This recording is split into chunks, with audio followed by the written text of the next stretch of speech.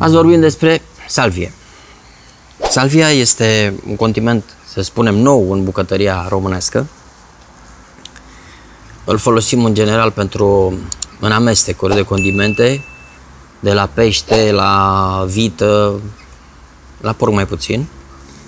Dar avem un preparat uh, care necesită salvie automat și se numește saltimboca. Deci un muș de vită cu salvie și cu prosciutto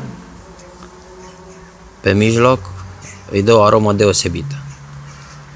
Uh, extraordinar uh, de bun este salvia infuzată și folosită această infuzie pentru a ne da nouă aromele îmbunătățite pentru sosurile de pentru vită, pentru oaie, chiar și pentru pește.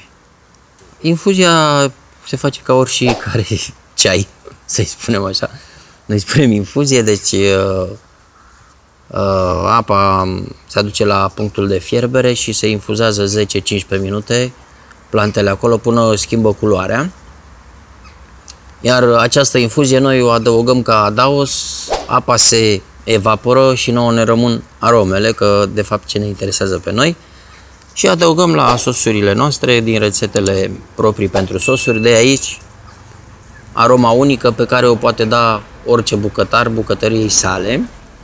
Salvia a fost denumită planta zeilor, ea fiind foarte bună, foarte, foarte bună în bucătărie și pe plan medicinal.